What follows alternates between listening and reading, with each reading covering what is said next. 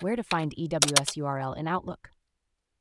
If you're trying to figure out where to find the Exchange Web Services EWS URL in Outlook, you're in the right place. Let's break it down step by step. First, you need to understand that the EWS URL is essential for configuring certain email clients and services that interact with your Exchange server. Here are a few methods to find this URL using Outlook. Using the Test Email Auto Configuration tool. One of the easiest ways is to use the Test Email Auto Configuration tool in Outlook.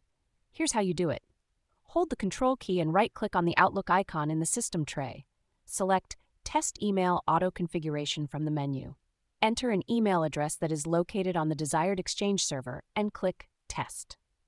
The tool will perform the auto configuration and display the EWS URL under the Availability Service URL section. Using PowerShell on the Exchange server. If you have access to the Exchange server, you can use PowerShell to find the EWS URL. Here's what you need to do. Open the Exchange Management Shell on the Exchange server. Type the command get web services virtual directory.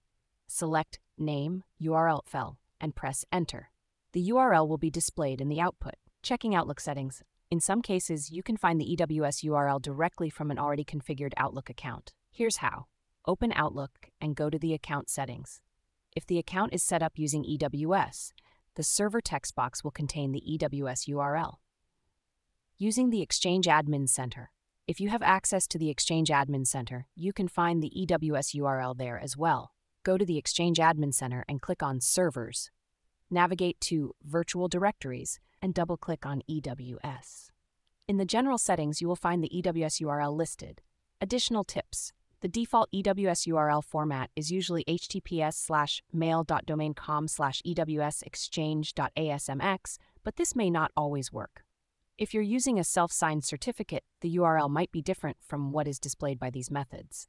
Always ensure that your DNS settings and firewall configurations are correct to avoid any connection issues.